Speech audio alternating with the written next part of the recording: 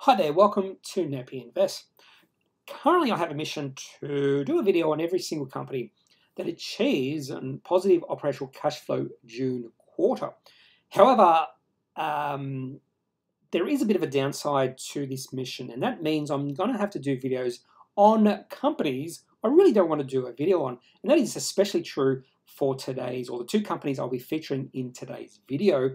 Those two companies are Global Health and ASF. The reason I'm not really excited about doing videos on these two companies is a little bit different. For Global Health, this is a company I've been covering or following for about eight years. Uh, originally, they didn't have to do Appendix 4Cs, and then all of a sudden, I think the ASX told them, please give us uh, how you're doing every quarter. So, issue Appendix 4Cs. And this is a company that really isn't gaining any traction in their business. ASF is a little bit different. I wouldn't be able to tell you what they do, um, and the whole market probably wouldn't tell you what they do because there's very little liquidity within ASF. And the only reason they were operational cash flow positive for the June quarter was because of government rebates and tax incentives or something like that. And I maybe should have made, as a part of my mission, that if you do get government rebates, that sort of thing, that's not really uh, money you get because of operations. So I should have excluded these sort of companies. But I made the promise to do a video on every single company that achieved operational cash flow positive, and unfortunately, ASF did that. So let's have a look at the first company, which is Global Health. Global Health is a healthcare software company with a ticker code GLH.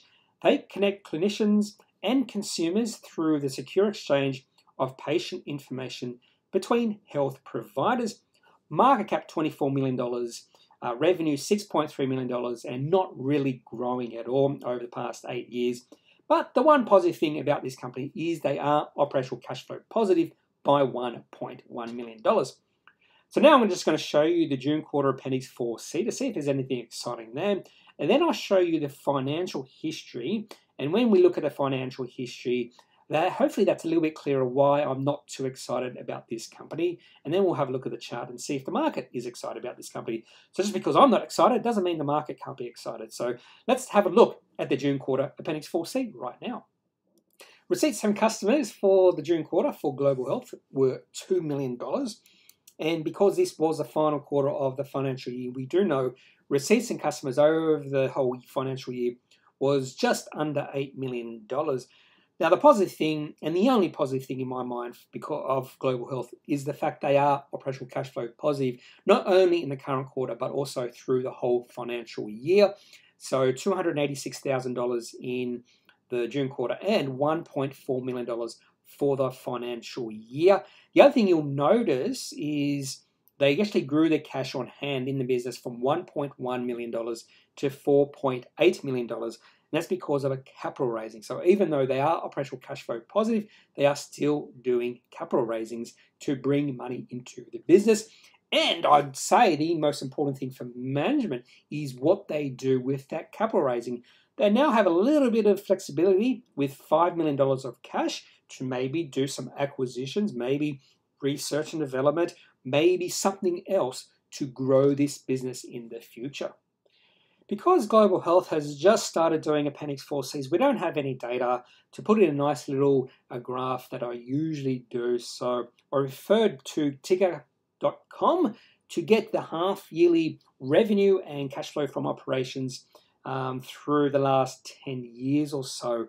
And the main thing you see here is a very slow increase in revenue. There is a bit of an increase, but it's very slowly happening. So it's gone from $1.8 million of revenue uh, 10 years ago to $3.1 million. And when you look at the cash from operations or cash flow from operations, it's fairly lumpy and there's no growth there at all. So that's the main reasons I'm not that excited with this company hopefully management can do something with that $5 million to grow revenues in the future and become more operational cash flow positive. And for that reason alone, I've left this on one of my watch lists. So I keep an eye on this company whenever they release Appendix 4Cs or half yearly and yearly reports to see if there is any growth in these numbers. But at this point in time, there's no growth at all, or very little growth um, at the moment. I'm only going to show you one chart uh, of global health, and that's the weekly chart going back to 2012. The one reason I became interested in this company was because of what happened with the share price during the later period of 2013 into the start of 2014. Share price rose from 2 cents to a high of 75 cents, and that rise in share price happened over about an 8 or 9 month period. Not only did we see the share price rise by a significant amount, we also saw the volume increase as well. In fact, when the share price got to its high of 75 cents, that's when we saw a peak in the volume. So the market was becoming excited about this company. At the same time, if my memory serves correct, there was another company where we saw a very similar increase in share price. That was Azure Healthcare, AZV. But as the volume decreased, we also saw the share price decreasing, and that was a sign the market interest in this company was waning. And then we just saw the share price decrease from then and get to a low of 10 cents. Uh, so it took about six year period for the share price to go from 75 cents to a low of 10 cents during the COVID 19 financial panic. But we've seen the share price go under the very similar pattern than what we saw in 2013 14. Share price increased from 10 cents to a high of nearly 80 cents in the start of May. The only difference from now to what we saw in 2014 was a lack of volume right now. The volume, there's been no volume at all driving the share price higher. Distinctly different than what we saw in 2014. I'm not sure what's been driving the share price higher for global health. It just could be overall positive sentiment in the markets. Now on to ASF, and hopefully this is going to be quite brief because I have zero interest in this company. And I'll go through the reasons why I have zero interest in this company in each slide, including this slide. ASF, tick code is AFA. I'm not sure why it's not ASF. Maybe the tick code ASF has already been taken. Markup $38 million. Revenue, not much at all, 1.7 million. And operational cash flow negative in the trailing 12 months of 1.2 million. Now, the first reason why I have zero interest in ASF is simply because they use a few buzzwords in their own description of what they do, and I absolutely hate buzzwords like incubation and synergy. And if you need to use buzzwords to describe your company, it's going to be a complete turnoff for me. So, ASF is an investment and trading house which focuses principally on identification, incubation, and realization of opportunities in areas of synergy between China, Australia, UK, and Europe, including all these different sectors. And even that sort of description of what they do, I still have no idea exactly what this company does. Now, on to the uh, June quarter Appendix 4C, and the second reason why I have no interest in this company is because technically this company is not operational cash flow positive. The reason they are is simply because of government grants and tax incentives. We're seeing some customers, 546, so maybe that's a little bit of a good sign. This company is a real business. They are drawing in money from what they're doing. But because they received $830,000 from government grants and tax incentives, that meant they were operational cash flow positive for the quarter. In my opinion, government grants and tax incentives should belong in another section, not the operating activities section, because that money isn't being derived from the operations of the business. And the final reason I have no interest in ASF is when you look at the daily chart, and this is the daily chart for ASF, and it goes all the way back to 2015. Share price was around 34 cents then, but that's not the reason why I have no interest in this company. It's just the fact that there's very little trading happening around this company. I went through the trading history.